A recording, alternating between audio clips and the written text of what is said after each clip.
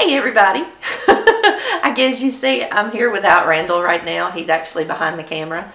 Um, we haven't seen you guys in quite a few weeks and so we didn't know what we wanted to put out in a video.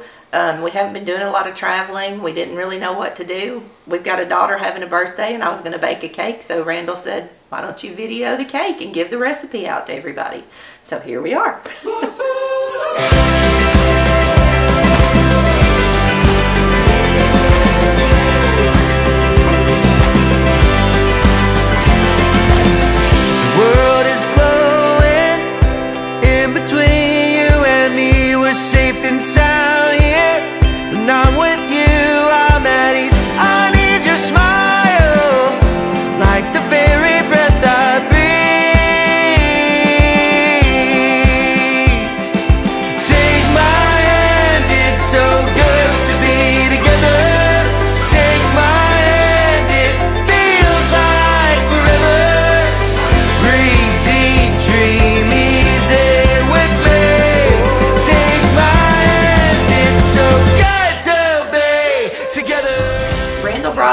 attention that not everybody out there has the opportunity to have somebody teach them how to cook or how to bake and how to maneuver in a kitchen. And so since I've been doing this for quite a few years, he decided that maybe it would be a good thing for me to show you guys some of the things that we do. And so what we're going to do first is start with a recipe that I have made probably more than a thousand times in my life. And uh, I'm going to show you two different ways to make this recipe. It's a carrot pineapple cake and I've made it the traditional way over and over and over again. I used to give it as gifts for my kids' teachers. I used to make it for people at church, for my neighbors, and I made it a ton, a ton of times for myself and, and our family. Um, but I'm also going to put a spin on it this time. I'm going to make the original one, then I'm going to follow that up with one that's made with whole wheat flour and stevia rather than real sugar and white flour. And we'll see how it turns out. I've never done it before, so it'll be an experiment for me as well. Okay, so the first thing we have to do is preheat the oven to 350 degrees.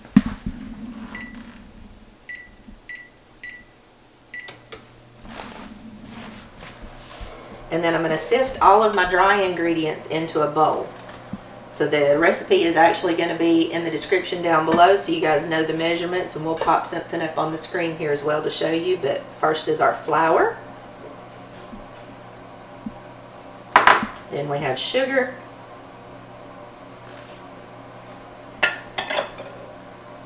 Baking powder.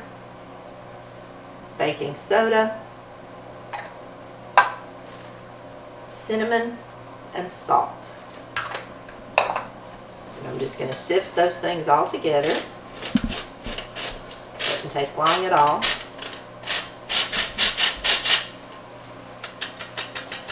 and get down to the end. Sometimes it works better just to pat it with your hand than to try to turn it. And then after you've got those things sifted, we're going to add in our wet ingredients, which is our carrot, our pineapple,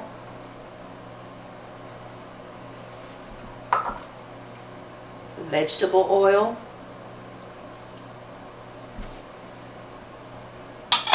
so I've got two eggs.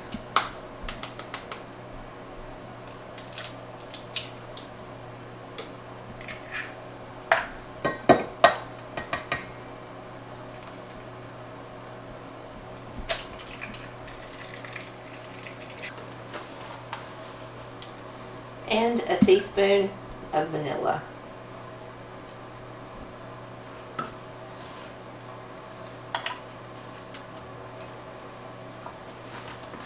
Now I know in the recipe that I've got down there, it states that you're supposed to put this in the bowl and mix it with an electric mixer for two minutes, where most of the time that is required. For this particular cake, the way I make it, I have found I do better just to mix it in the bowl. Um, I'll, I'll get into some other recipes later and how important it is to follow the directions exactly but this one I've changed up a little bit. The recipe also says that it needs to go in a 9 by 9 by 2 inch pan. I actually bake it in a Bundt pan, and so that's why I mix it a little differently. As I just mix everything until it's all good and, and moist.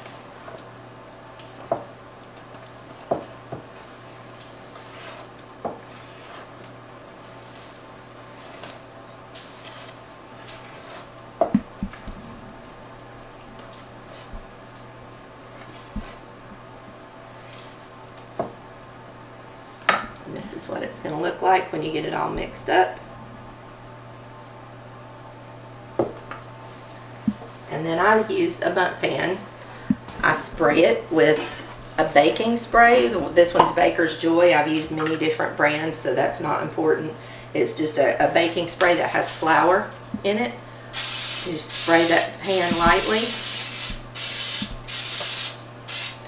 If you don't have a baking spray, you can actually grease that pan with a little bit of a vegetable shortening and then uh, sprinkle some flour in there around and make it nonstick as well. You pour your batter into the pan.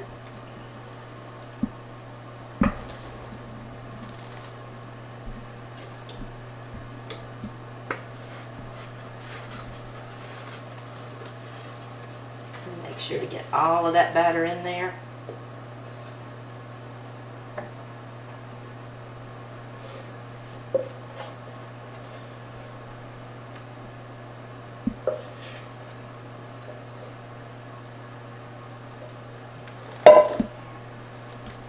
spread the batter out pretty evenly. And this is a fairly thick batter. It's not going to run. It, it's, it's relatively thick there.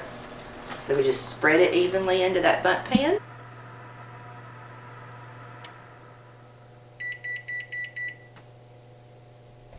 So now we just put it in the oven at 350 for about 35 minutes.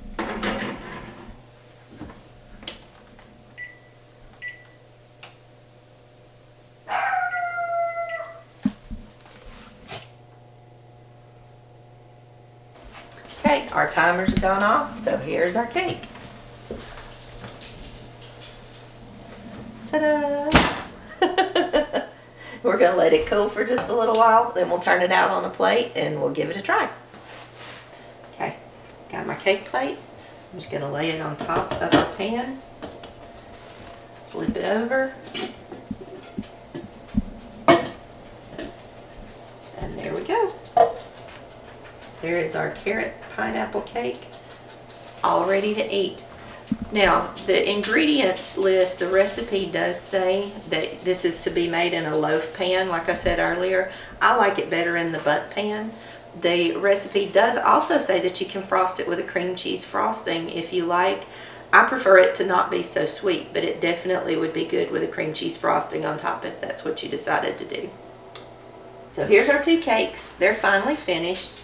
This is the one that we made first, and it is made with traditional all-purpose flour and regular sugar. I decided to make this one out of a whole wheat flour, and um, I used a stevia to sweeten instead of sugar. Whole wheat flour in the same amount as the regular flour, and stevia the same amount as I would use for the regular sugar. Everything else was the same, and as you can see, the one with the real sugar is a little darker, the one with the stevia and the whole wheat is a little bit lighter in color. The one with stevia and whole wheat also didn't rise up as much as the other one. So now we're going to cut them and see what they look like on the inside.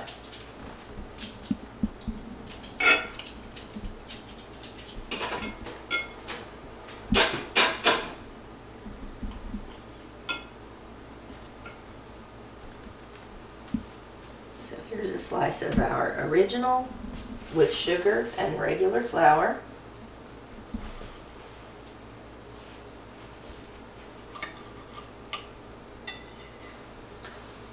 And here is a slice of the whole wheat and stevia. On the inside, the appearance is very similar. It's about the same. Um, the one with stevia and whole wheat is a little bit grainier. Uh, it didn't hold together quite as much.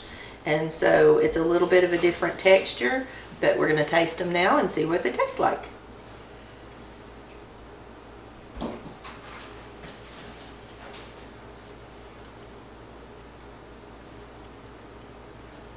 The one with the stevia is a little bit of a drier texture, but the flavor is fantastic.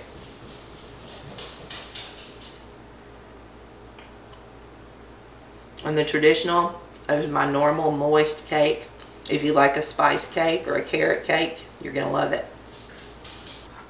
Okay, to wrap everything up, guys, I made two cakes today. Same recipe, a little bit of a different ingredient to each. One is no sugar added and whole wheat. One is regular with sugar added.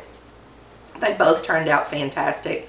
Um, obviously, the one with sugar I've made millions of times, and so it's tried and true. It's always perfect. The one with no sugar is a little crumbly, but it works. The batter on the one with no sugar with the with the stevia in it um, was a little bit drier, so I did add a little bit of extra pineapple juice to that one just to loosen up the batter a little bit. But I baked it the same way, same amount of time as the original. Like I said, they both turned out great. If you have any questions about them, drop me a, a, line down in the messages. Send me a message. Reach out. If you make it and you love it, if you make it and you don't love it, let me know. I'd love to hear how it turns out for you. If I can ever help you with anything, let me know.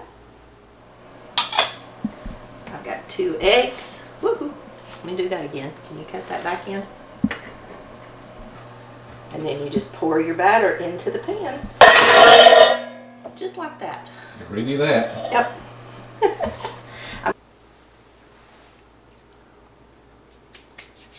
Are you recording me eating cake?